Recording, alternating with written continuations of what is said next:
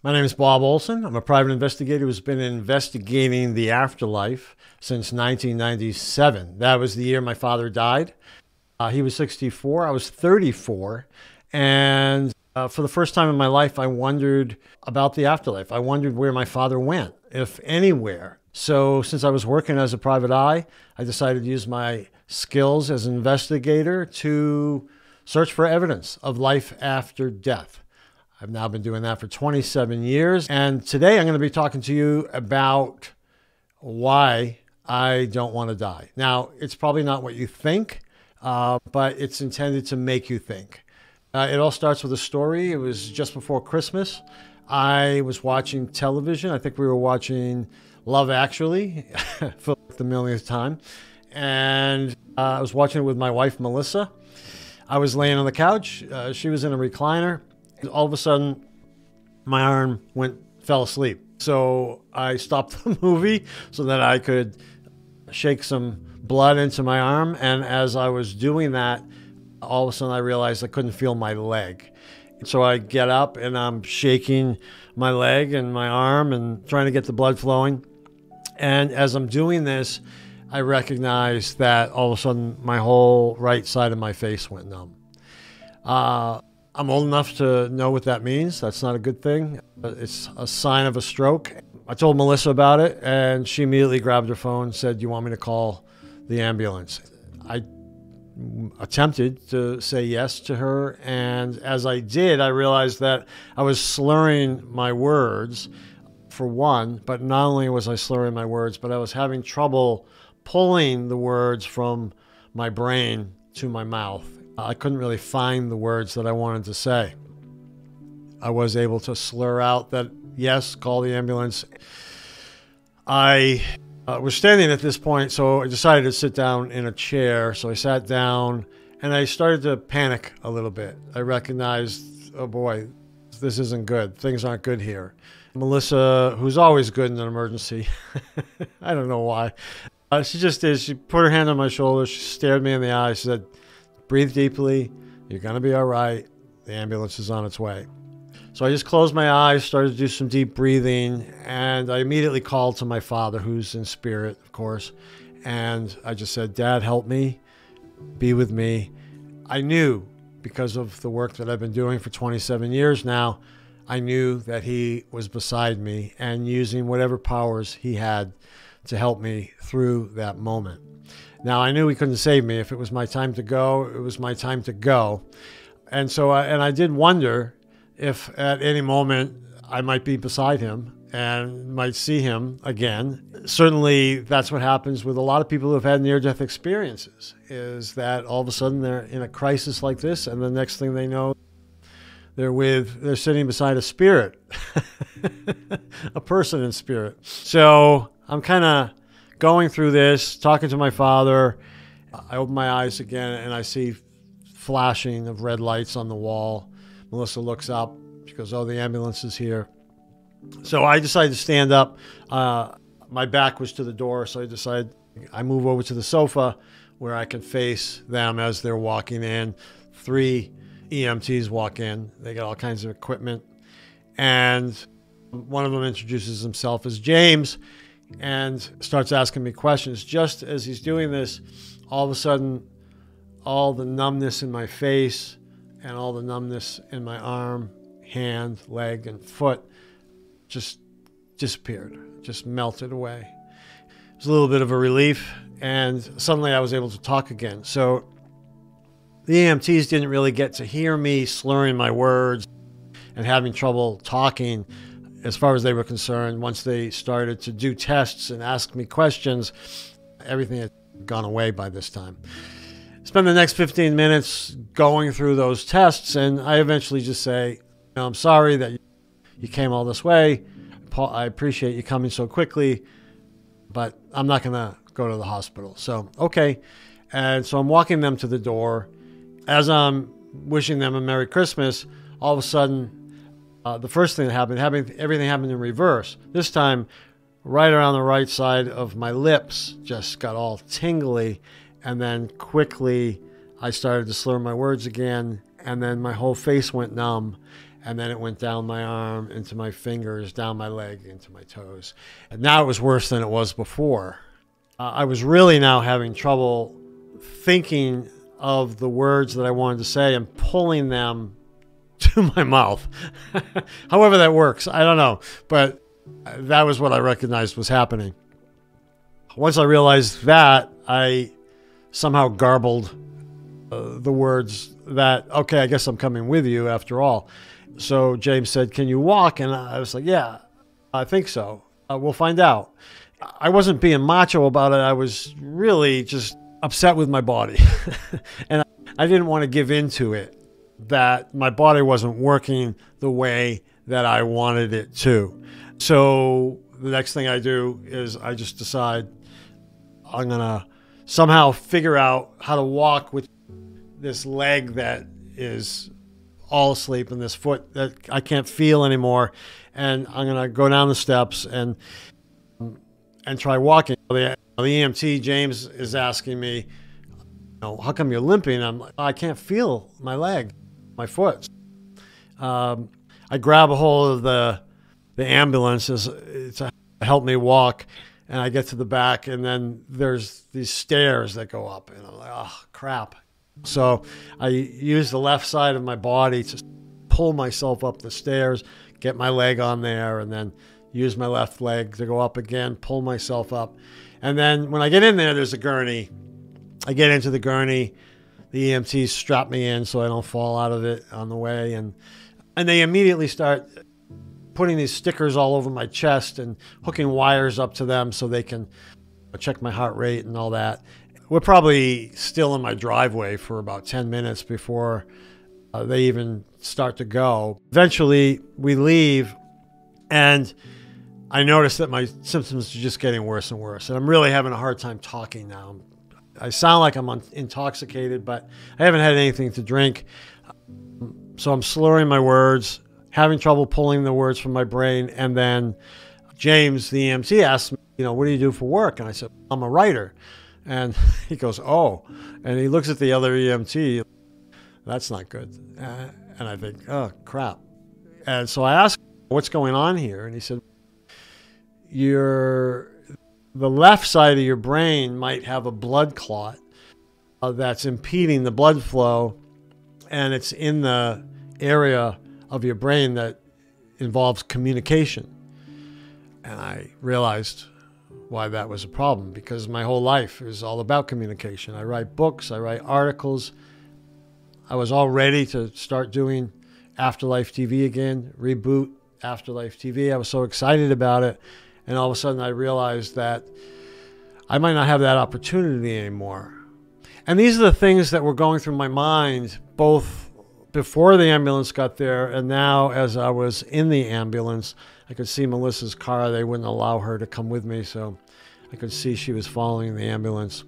And I'm thinking to myself, did I run out of time? And I remember Dr. Wayne Dyer, who's a great author, who who used to talk about don't die with your music still in you. And I realized I had I got a lot of music still in me. I, I have more books, more articles, more videos to create. I have so much more that I have learned about life after death that I want to share with people. Now I wasn't sure if I had any more time to do it. And I thought to myself, if I do, I'm really going to reboot Afterlife TV and I'm going to get as much out while I have time to do that. The other thing that was going through my mind as I saw Melissa following the ambulance was we didn't get to do a lot of the things that we wanted to do. Uh, earlier in life, we couldn't afford to go traveling. But we wanted to travel, experience the world, and we didn't have the money to do that. When I finally figured out how to make a living doing work in this field, then I didn't want to lose momentum with it. Now I was really busy. And then you know, we got dogs, and then we couldn't go away because we couldn't find anybody to take care of the dogs. And then COVID happened.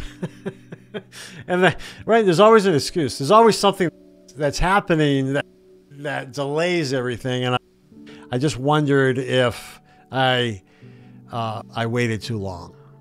And did I wait too long to come out with more books? Did I wait too long to travel with Melissa? I had just turned 60 in 2023. I still felt like I probably had a good 25 years in me. And now I questioned it. We finally, the ambulance gets to the hospital and they bring me in. We have to go through triage of some sort, and then they rush me to the ER. As they bring me into a room in the emergency room, all of a sudden my symptoms just melted away again. And so first I could feel my face again, my lips. I wasn't slurring my words. Then all of a sudden I could feel my arm and my fingers. I could feel my leg and my toes.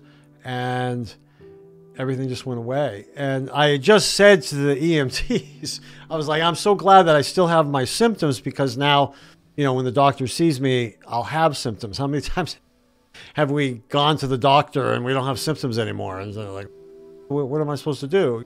So, long story short, my symptoms never come back, but they have to, of course, put me through a, a CT scan um, they wanted to put me through an MRI and an EKG, sorry, an echocardiogram. They didn't have anybody at night who could do the MRI or the echocardiogram, so I had to stay overnight and they put me in a room and all that. The CT scan they could do right away, and I had that done. And even during that, they had they put this they call it a contrast. It's a dye that they put into your body and I had never had that, and I had heard that some people can have allergic reactions to it and die even from that. And so I was a little bit nervous about that. Every time I got nervous in any of these scenarios, I just closed my eyes, say, "Help me, Dad," and again, it somehow calmed me to know that He was with me and was helping me. And I knew that He was helping to calm me as well. I've learned enough about life after death to know that this is how it works. And so, to answer the question, why was I afraid to die? What I will say is it was not because of what I've learned about the afterlife, because what I've learned about the afterlife is that when we die, it's a very peaceful place. We immediately experience extreme peacefulness and we feel love, more love than we've ever felt as human beings. We feel even a sense of joy and freedom from the confines of our flesh, of our bodies. And there's all these euphoric feelings uh, when people will just say, I've had near death experiences that they tell us about. I knew from those and all the readings that I've had with mediums and even the experiences that I've had, like past life regressions and something called a life between lives regression, where you actually go into the spiritual dimension the life between lives, right? I've had these experiences. I knew what that felt like. I knew that it is a peaceful place to be. So that was not my concern. My concern was that I still had a lot of work to do. I still had a lot of living to do with Melissa and my friends and family members, even my dogs, and I wasn't ready to go yet. I still had a lot of music left in me. I had a lot of teaching to do. I had a lot that I wanted to share with you, my audience. And for that reason, I didn't want to die. I say this even if you're I was I'm 60 now, you're probably much younger than me perhaps, and you might be saying, well, I'm only 20 or 30 or 40 and so I have a lot I have my whole life ahead of me. But one of the things that I've learned working in this field with many people who have lost loved ones to all sorts of causes of death is that we never know how long we have. I had uh, a friend named Rick who had cancer. I believe it was thyroid cancer. And he treated traditionally the chemo and radiation. And he got through all that. And then five years after the treatment, he had that the tests again to recognize that the cancer had not come back, and he was celebrating that. And he was out on the highway, and one of the things Rick used to do, just for safety reasons, is that if he ever had to use the phone, he would pull over into the into the breakdown lane, and he would talk on the phone just because it was safer. This is still early cell phones anyway, but he did that. He had to make a phone call, pulled over to the side of the road on the highway. And when he did, there was this uh, 18 wheeler truck driver who was driving down the road, and another 18 wheeler was coming by him, and he came too close, and his mirror, their mirror is smashed. And the truck who smashed his mirror just kept on going. And so this truck driver was was really upset. So he's like speeding up to try to see the license plate of the truck who hit him. And he's trying to find a pencil and a paper to write down the license plate. And in doing so, he veers off the road and hits Rick's car and kills him instantly. And I think, isn't that just life? He beats his cancer, but he's killed in a car accident. The point of the story is that we just never know. Uh, I know a lot of people from Afterlife TV who have lost their children at very young ages. I had a five year old cousin who died. Uh, people who die in their teens, 20s, 30s, 40s, for all sorts of reasons car accidents, health reasons, crazy accident you know, that you wouldn't even think of, murder. There's lots of causes that can take our lives, and we never know when that's going to happen. So that's the point of this. I'm not afraid to die because I know death uh, in the spiritual dimension is a wonderful thing. But I don't want to die because I have a lot to do. And my guess is that you have a lot that you would like to still do in your life as well. And so that's really the point of this. If learning more about life after death is something that you're interested in, if you're on YouTube, I hope that you'll subscribe. Otherwise, uh, one of the things you can do is you can sign up for my newsletter. You can do that by going to bobolsonconnect.com. Now, if you noticed right here, I can't do that. All right, there we go. I did it. Bob Olson Connect. You see the logo there. Bob Olson Connect is bobolsonconnect.com. You can go to bobolsonconnect.com and right there you can just enter your email and hit subscribe. That's free. And whenever I do a new video for Afterlife TV, you'll get an announcement for that. Now, Bob Olson Connect is something that I've been doing for the past year. I literally started in February of 2023, and I've written over 90, I think about 90 articles on that site. A lot of them are free. Uh, they're the ones that where I write about life lessons that I've learned. So I tell stories and tell the life lesson that I learned from those true stories. Those are all free. The the articles that I've written about life after death and my investigation of life after death and all the conclusions that I've drawn and everything that I've learned about it are for paid subscribers only. And yet it's only $10 a month and $100 a year. So $8 and something a month if you do the $100 a year but it's like a master's course in the afterlife. And so these are very in depth articles that you can read. You can see what's there. You can read the beginning of them and recognize if that's something that you want to do. So just again, go to bobolsonconnect.com. One of the things that I'm going to be doing is I'm going to be offering extended episodes that when I do an Afterlife TV episode, I won't do it today but when I do an Afterlife TV episode, I will do an extra 15 or 20 minutes for Bob Olson Connect paid subscribers only, just to give them another something extra special. The other thing I'll let you know is that uh, I founded this site. It's called Best Psychic Directory. It's got the best psychics and mediums in the world. We have over 800 psychics and mediums there. They have all been vetted by me. Uh, I'm very proud of that site. I'm very proud of the people who are on that site. So I hope you'll check it out.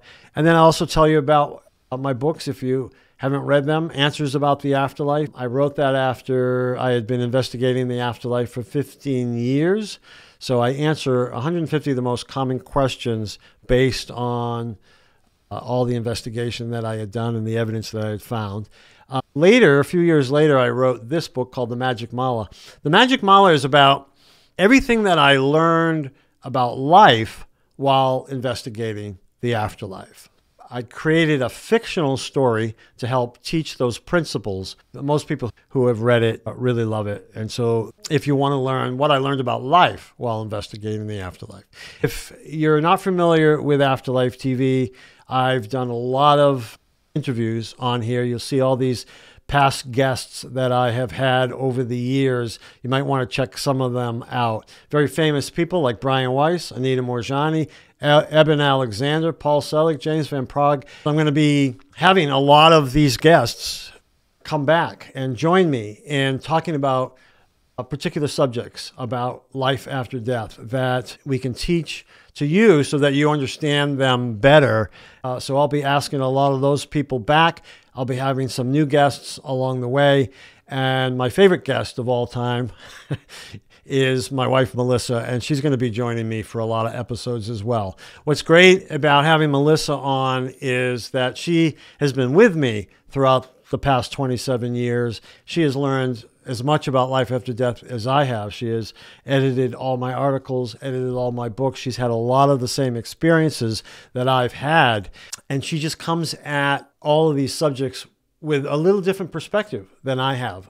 I came at this from the point of view of someone who was skeptical about life after death. She was never really skeptical about life after death. And so together we get to talk about a lot of these subjects and she brings something very valuable to the table in doing that. So I look forward to having Melissa on and being able to converse with her about so many of these subjects.